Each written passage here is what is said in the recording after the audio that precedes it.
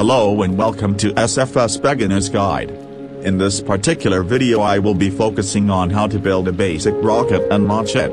So let's start with adding a probe. Now we have to add a parachute too. It will help in safe recovery of our probe.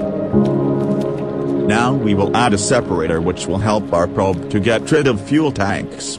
We will proceed further by adding some fuel tanks. Now we will add engines. As you can see the TWR is over 1 which means over rocket will lift off.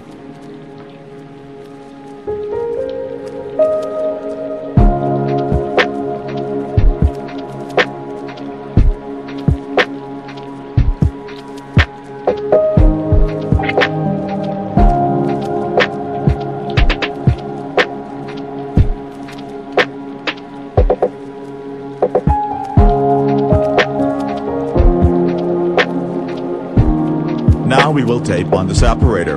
Now as you can see the probe is detached. Now it will safely head to ground.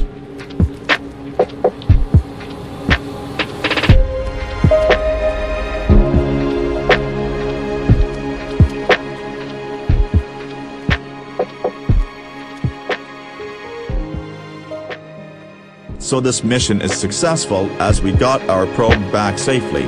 Now let's make it a bit more complex.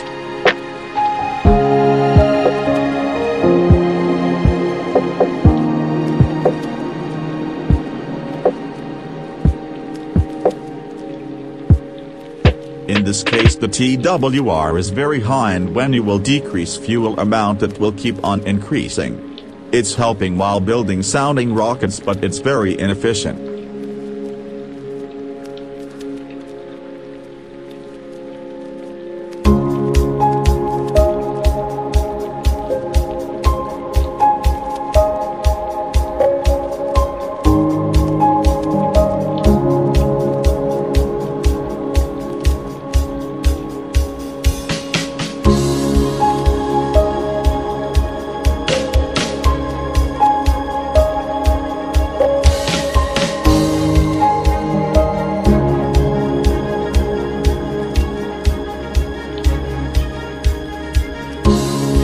This mission is successful as we got our probe back safely.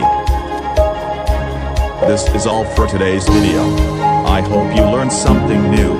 If you did then make sure to hit subscribe button and part 2 will be out very soon.